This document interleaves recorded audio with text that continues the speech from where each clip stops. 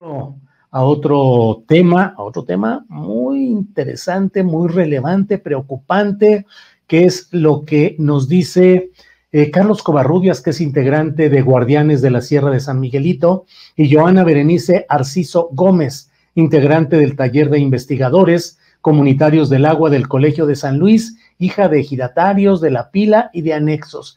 ¿Qué está pasando en este tema? Están aquí Carlos y Joana Berenice, a quienes saludo. Carlos Covarrubias, buenas tardes.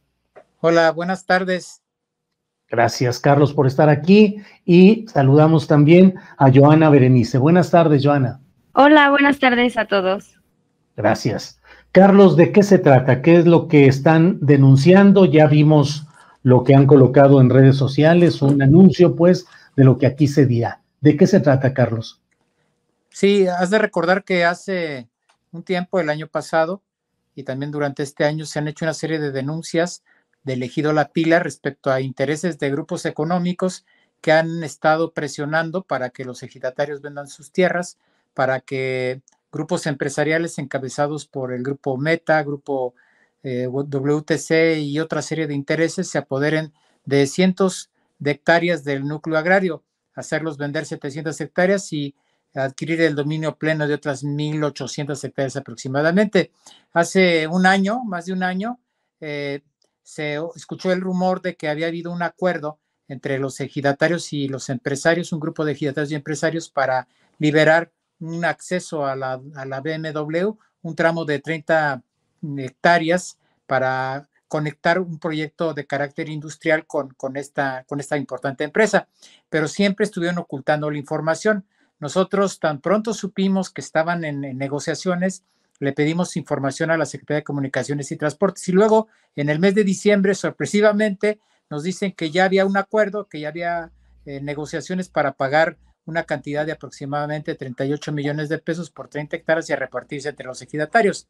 Repartirle dinero a los ejidatarios a lo mejor no es un problema porque finalmente es un derecho cuando se da un tema de ocupación de tierras, un tema de ocupación temporal en términos del reglamento de la ley agraria en materia de ordenamiento de la propiedad rural.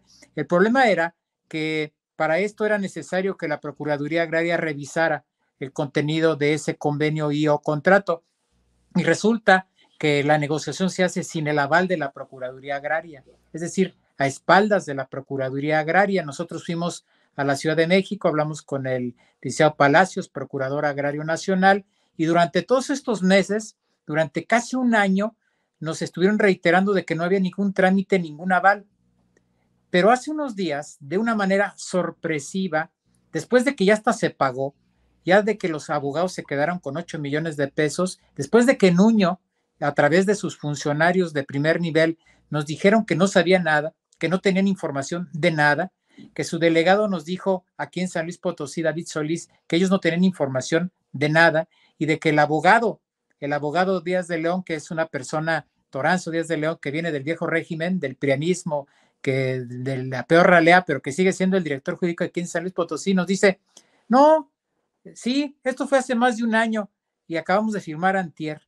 Es decir, de manera sorpresiva, nos dicen que algo que estuvieron negando de manera oficial, ¿eh? con documentos que pasan por el tamiz de las, de las direcciones de transparencia, nos dicen que jamás circuló esa cantidad de dinero, que jamás tuvo conocimiento, comunicaciones y transportes, que no está autorizada la obra. Ahora nos dicen de un día para el otro, fíjate que siempre sí, ocultando información de manera sesgada, de manera este, irregular, porque finalmente la presión que han hecho los compañeros ejidatarios al querer que esto se descubra que se sepa si realmente se autorizó la ocupación de la tierra era un acto de legalidad. Y ahora nos dicen, fíjate que siempre sí. ¿Qué es lo que sucedió? Pues que el señor Nuño llegó a un acuerdo definitivamente con los grupos empresariales para avalar la ocupación de las tierras. Eso es lo que está pasando. Como punta de lanza de un proyecto de privatización de miles de hectáreas, porque no es un tramo de una carretera nomás, son miles de hectáreas que se piensan privatizar y poner a disposición de grupos de poder económico. Pero aquí es también donde llama mucho la atención lo siguiente. Esos grupos de poder económico fáctico que se van a enriquecer con la construcción de esa carretera y con la privatización de la tierra son grupos afines a Claudio X González, ¿entiendes? O sea, son grupos que le trabajan y le procesan a Claudio X González. Todo el mundo lo sabe. Los abogados de Claudio X son los mismos abogados que tienen ahí en el grupo Valorán, el grupo Meta. Y resulta que ahora la Secretaría de Comunicaciones y Infraestructura les está operando estos grupos de poder. ¿De qué se trata? ¿De qué estamos hablando? De que se están prestando a un juego de, intereses de los grupos que están combatiendo a la llamada 4T, están desde dentro socavando la organización de gente que, ha estado luchando del lado de la 4T. Mira, eh, a mí me invitaron hace 10 días a firmar el convenio, esos acuerdos de adhesión con Claudia Sheinman, nos invitaron a firmar con, con, ella, lo hicimos, fuimos ahí a un evento que a lo mejor a mucha gente no les dio mucho gusto vernos por ahí, ah, no sé, al gober, no sé si le haya gustado mucho que hayamos estado ahí a un lado de Claudia, y, y fuimos a firmar en el buen sentido de que queremos que ella apoye las causas de la sierra y de la pila, porque le entregué dos documentos, uno donde estamos denunciando el acoso que sigue habiendo en la sierra y en específico el tema de lo que está haciendo Jorge Nuño en, el ejido de la pila en, el, en relación a este tema de esta carretera y de la privatización que se quiere hacer en el lugar. Y firmamos la adhesión,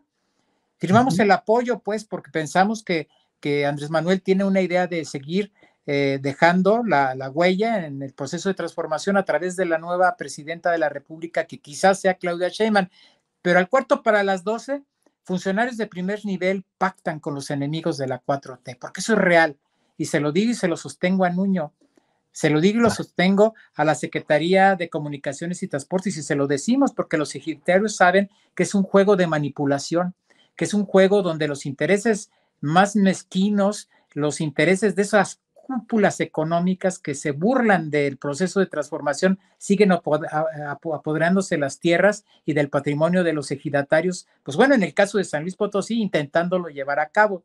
Está conmigo la compañera, ella es muy joven, la compañera Berenice, ella es una estudiante, ella está, eh, fue enviada por sus padres a un curso para tratar el tema del despojo de tierras y del agua en el Colsan eh, ella es muy joven, pero bueno, ella también tiene cosas que decir desde la perspectiva del ejido, desde la gente que está sufriendo el agravio y desde lo que está sucediendo realmente con esta gente que se dice parte de la 4T, pero que finalmente pues son aliados de los grupúsculos fácticos del prianismo más recalcitrante.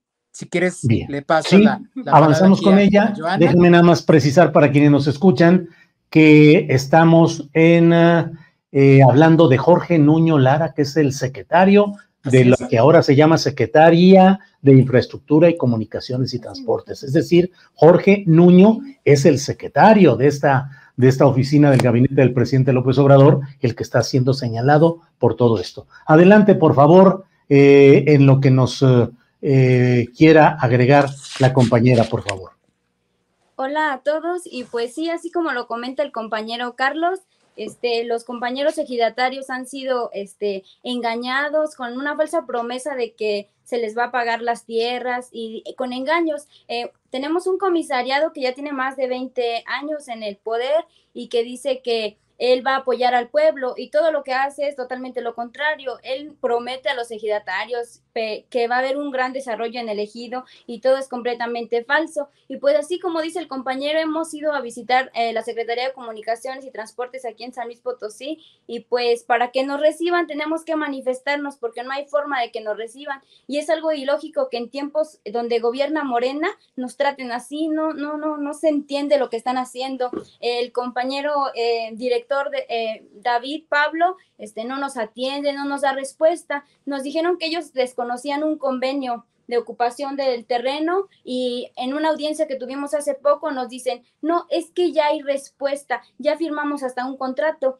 Yo estudio comercio internacional y pues todos sabemos, bueno, lo que yo he estudiado, sé que un convenio lleva un proceso, no es de hoy a mañana ya vamos a firmar y él nos trata como unos ignorantes, nos dice que una cosa y al otro día salen con otra. Entonces, pues estamos muy inconformes, molestos de que en pleno tiempo donde eh, gobierna la 4T nos den un trato así, así como también pues hay intereses, acuerdos de intereses con funcionarios, con este Em, em, ¿cómo se llaman? Eh, diputados. diputados, como em, un diputado local de Morena, Antonio Lorca, que es ejidatario en la pila, pero así como él hay varios eh, supuestos ejidatarios que viven en los residenciales aquí en San Luis Potosí. Todos ellos viven en el Pedregal y pues son dueños del ejido de la pila y pues eso no está bien.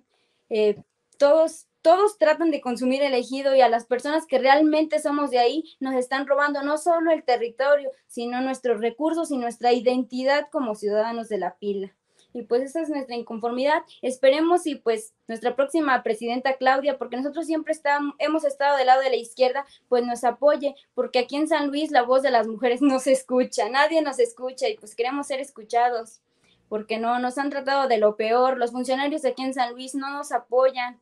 Yo soy hija de ejidataria, no soy una ejidataria, pero pues represento a mi mamá y pues no, no es, no es nada agradable, no es nada bonito todo lo que nos están haciendo pasar estas personas, estos funcionarios que en lugar de apoyar solo nos perjudican más, apoyando solo a los ricos. Bien, gracias, gracias eh, por eh, lo que nos dice Joana Berenice Arciso Gómez, integrante del taller de investigadores comunitarios del agua en el Colegio de San Luis, hija de ejidatarios de la pila y anexos. Em, Carlos Covarrubias, em, espérame un segundito ya. Carlos Covarrubias, eh, pues es eh, dura, es eh, fuerte la acusación de que el secretario de Infraestructura y Comunicaciones y Transportes del gobierno federal esté en este tipo de arreglos de todo lo que nos estás planteando. ¿Qué nos agregas y cómo fundamentas todo esto, Carlos, por favor? Pues con documentos oficiales. Aquí están. Aquí hay un documento que es un acta circunstanciada de búsqueda en la Dirección General de Desarrollo Carretero firmado por el director de liberación del derecho de vía, por la directora de seguimiento de títulos de concesión, por la subdirectora de supervisión y fideicomisos, donde nos dicen funcionarios federales que son directamente dependientes del secretario, que allá en oficinas centrales no hay nada y que lo busquemos en San Luis. Así nos lo dicen, está por escrito y lo tienen jueces, lo tiene también Pablo Gómez porque se lo hicimos llegar a la unidad de inteligencia financiera. Y acá tenemos otro oficio, pero este lo firma el delegado acá en San Luis Potosí, el ingeniero, el ingeniero David, donde nos dice todo lo contrario. Él dice que él no tiene nada y que la información está en la Dirección General de Desarrollo Carretero en la Ciudad de México. O sea, de México dicen que aquí y de aquí dicen que allá. Y luego el jurídico, que finalmente yo creo que es la pieza clave en este tema, porque es el que finalmente hace los oficios, finalmente es el que determina muchas cosas que, están sucediendo, pues él dice que él supone que la información está en desarrollo carretero de la Ciudad de México, así lo dice en la Dirección General de Desarrollo Carretero y que vayamos a preguntar allá, pero eso lo dice cuatro días antes de declarar ante el Tribunal Agrario que acaban de firmar lo que ha negado durante más de un año, para ser muy claros, los funcionarios federales de primer nivel dicen que no hay nada. Los funcionarios estatales que dependen del secretario también dicen que no hay nada y se avientan la pelota durante un año. Y cuando nosotros los ponemos en evidencia en un juicio agrario, no les queda más que decir que sí firmaron. Pero lo peor es que no entregan los documentos. Dicen, ya firmamos, pero ahorita no se los podemos dar porque los andamos certificando. Pura falacia, pura mentira, puro engaño, pura tranza. A lo mejor son situaciones donde se mezcla la necesidad de la movilidad, cosa que no negamos. A lo mejor también se mezclan cuestiones de empleo, porque pues que va a venir la BMW y que va a haber mucho empleo. Vino hasta Andrés Manuel a inaugurar la planta, etcétera, ¿no? Pero en torno a todo esto hay todo una, un manejo de los intereses económicos que no se han perdido, ahí siguen. Es como cuando lo vivimos en la Sierra de San Miguelito. Has de recordar, pues, tuviste que echarnos la mano aun con lo que luego te andan diciendo que eres, pero que realmente no eres, pero pues eres un agente de lucha, ¿Cuál, ¿cuál, de que eres otra cosa que por ahí eh, tristemente te andan queriendo definir, cuando realmente lo que hiciste fue ayudarnos a sacar adelante el proceso de cierre San Miguelito, pero lo mismo sucede ahorita, a lo mejor hay quien nos diga, no hombre, ¿cómo se les ocurre decir eso del secretario de Infraestructura? Como bien lo señalas, yo lo hablé con mucha familiaridad porque pues, para mí es un compa de la 4T, entre comillas, pero le voy a decir señor secretario, bueno, claro, señor secretario, y nos van a decir que estamos calumniando y mintiendo y que lo demostremos, pues lo demostramos y se los restregamos. Hay falsedad y hay corrupción en la Secretaría de Infraestructura, Comunicaciones y Transportes y se lo decimos y se los vamos a volver a decir. También te quiero decir que ya un juez federal nos dio la suspensión de ese contrato. Ya el juez sexto de distrito, el viernes, nos dio la suspensión de ese arreglo. Y ahora van a tener que soltar toda la información y van a tener que esperar que un juez federal y luego en manos de quién van a caer, ¿no? De los del Poder Judicial Federal que los trae en conflicto por una cuestión legítima que es las medidas que ha tomado el presidente, pero que ahora finalmente va a generar que el gobierno federal va a estar siendo juzgado por situaciones irregulares que le han hecho estos funcionarios a gente que los ha apoyado toda la vida y que un juez federal va a tener que definir si es legal o no este tipo de tranzas promovidas desde la Secretaría de Infraestructura, Comunicaciones y Transportes. Bien, Carlos, pues eh, están expuestos los hechos, las pruebas, los documentos. Claro. En, en este contexto. Eh, ¿Qué sigue? ¿Qué van a hacer, Carlos? ¿Qué es lo que, lo que sigue en este proceso? Bueno, te digo que por ahí le, le entregamos una carta a Claudia con el tema de la sierra, con el tema de la pila. Y bueno, nosotros le firmamos ahí la adhesión. Vamos a pedir correspondencia. O sea, nos llamaron, sabemos que no fue acarreo, fuimos porque quisimos, ¿no? Y vamos a ver si, si vale la pena adherirse a este proceso de transformación. Yo digo que sí, pero yo creo que es importantísimo que Claudia sepa bien a quién va a escoger, ¿sí? En el caso de que llegue a la presidencia de la República, quién la va a acompañar en este proceso de, carácter político y que vea que este tipo de errores, que este tipo de pifias o este tipo de traiciones va a traer consecuencias estructurales en el ánimo de la gente. Porque la gente en la pila ha votado siempre, desde hace ya desde cuando menos desde lo de Andrés Manuel ha seguido votando, apoyando, apoyando, apoyando, pero este tipo de situaciones tan agraviosas realmente llaman mucho la atención. Vamos a insistir y por otro lado le vamos a meter con todo a la movilización, como siempre, y le vamos a meter sobre todo a la argumentación en términos de legalidad. No vamos a exponer a la gente, porque tampoco los vamos a arrojar a algo que luego los reprima la misma 4T. No, lo que vamos a hacer es luchar como lo hicimos en el caso de la Sierra de San Miguelito, y seguramente así como lo logramos en aquella ocasión, vamos a ganar, vamos a vencer. Carlos Covarrubias, pues muchas gracias por esta, eh, los señalamientos y lo que se está diciendo sobre este tema. Doy las gracias también a Joana Berenice Arciso Gómez. Joana, ¿algo que desea agregar? Si no, agradeciéndole que haya estado con nosotros. Mm, pues solo que los ejidatarios de la pila no están en contra del desarrollo, solo queremos un desarrollo que sea equitativo y donde nos integren y no solo un desarrollo donde se estén apoyando a los ricos y los intereses económicos de unas cuantas personas. Y pues muchas gracias por el espacio. Al contrario, Joana, gracias. Carlos, a reserva de lo que desees agregar, muchas gracias por esta entrevista y por esta información. No, pues gracias a ti y aquí vamos a seguirle dando.